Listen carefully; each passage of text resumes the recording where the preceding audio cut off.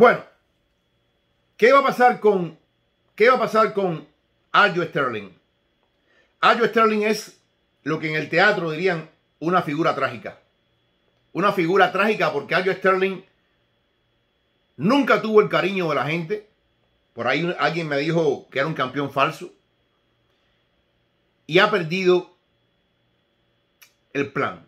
Porque el plan de Sterling era mantener la corona e irse a retar a Volkanovski.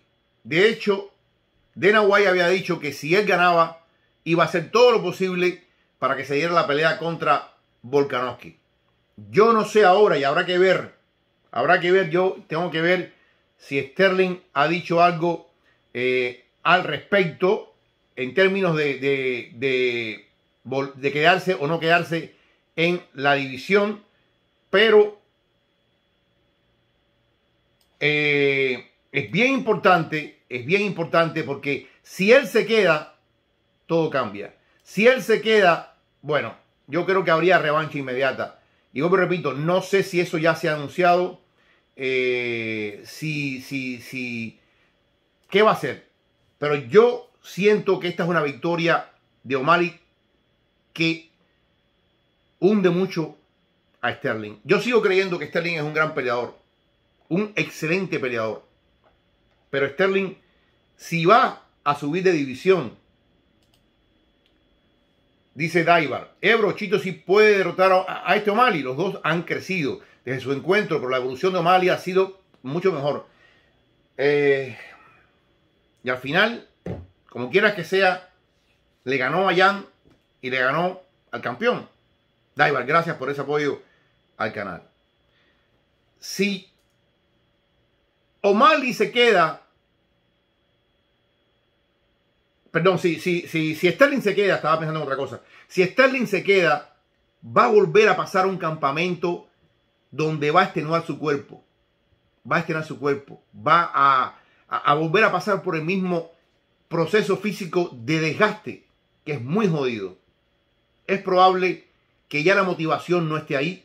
Es probable que el cuerpo no le responda como uno esperaría eh, que pudiera. Y si él se va a 145, ya no puede pedir al campeón, porque se va con una derrota. Se va con una derrota increíble. Ahora, yo creo que Sterling sigue siendo un peleador que puede hacer algo en 145. Vencer a Volkanovski, no lo creo.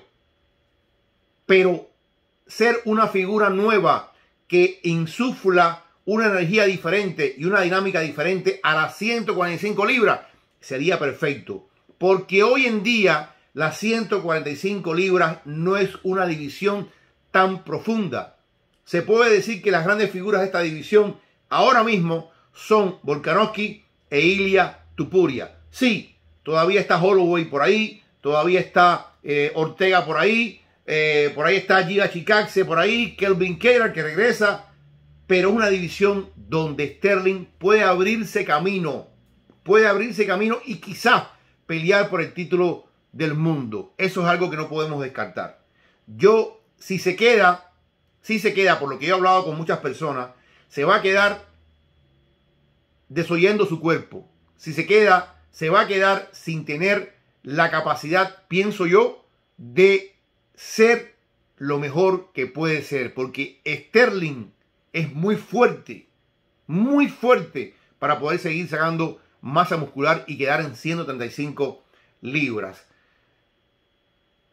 Lo más, o sea, yo entiendo, yo entiendo cuando O'Malley pide a Chito Vera. Pero aquí lo que tiene que venir desde el punto de vista de venta es una pelea con Billy. Billy quedaría como la figura que va a cuidar el legado de O'Malley, eh, de, Sterling en las 135 libras. Billy, que es un luchador y que trataría también como luchador de llevar al piso a O'Malley. Pero yo siento también que hay que empezar a darle a O'Malley todo el mérito que, que merece. Y yo creo que O'Malley hoy es alguien que nos ha dicho yo puedo. Y yo voy a hacer un reinado. Él dijo, va a comenzar la era Suga. La era Suga.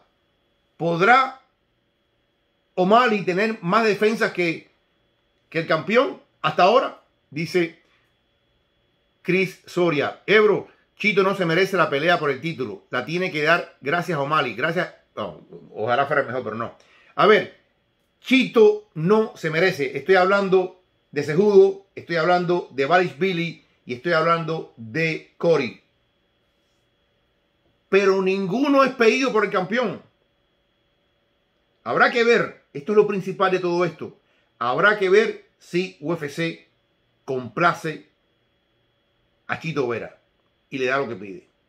Por lo demás, señores, eh, impresionante la China Shang Wei.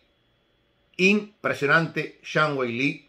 Lo que hizo con Amanda Lemush fue brutalmente la pelea de más diferencial de golpes en historia de UFC.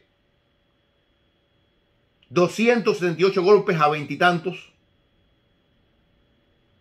Yo resalto la fortaleza de Amanda, la durabilidad de Amanda, pero durabilidad y fortaleza no pueden con el talento y la fuerza de Shang Wei Li. Shang Wei Li que ha rebasado todo frontera, porque Shang Wei Li, siendo China, es amadísima por el público de los Estados Unidos, por el público que entiende que está viendo a alguien realmente impresionante. Carlos, Gracias, hermano. Ebro, ¿qué tal? El, el robo al, al no, eso es un bonche tuyo, ¿no? Eso es un bonche tuyo. Y el desempeño de Ian Gary.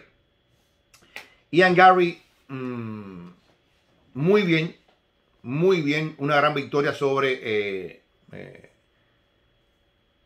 Neil Magny. Una gran victoria. o sea, yo creo que el, el problema de Ian Gary es que pudo haberlo finalizado.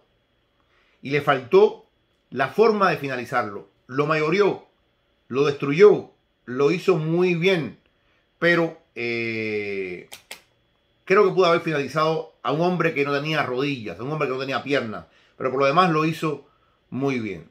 Señores, voy a empezar a responder preguntas, no se vaya nadie, voy a responder preguntas, todas las que más pueda responder, eh, pero creo, creo que hemos visto cada vez que un campeón pierde la faja y la pierde de la forma en que la perdió, Creo que es algo realmente impresionante, algo histórico y algo que nunca, nunca vamos a olvidar. Así que están todos, todos bienvenidos al comienzo de la era Suga en 195 libras.